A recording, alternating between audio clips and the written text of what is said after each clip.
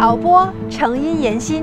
这里是中国海盐博物馆，我是宝贝推荐官，中国海盐博物馆讲解员杨倩。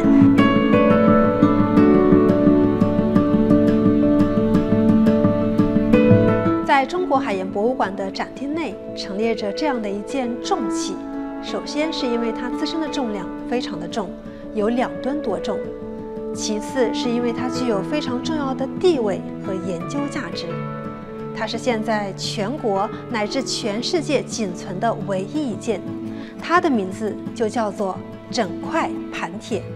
盘铁分为整块和切块，皆由官府进行管控。为防范私盐，当时的官府会将整块盘铁分成几块到十几块不等，分别进行保存。只有等到制盐时，才能拼成一块整的。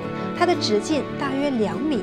其实它的作用就相当于一个超级大的平底锅。像这样的一块盘铁，它一昼夜可以煎四盘，每盘大约五百到六百斤，所以它一昼夜的盐产量就可以达到两千多斤。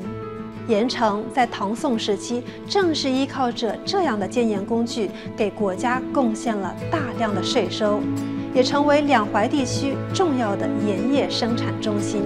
这也是我们盐城历史上的一个高光时刻。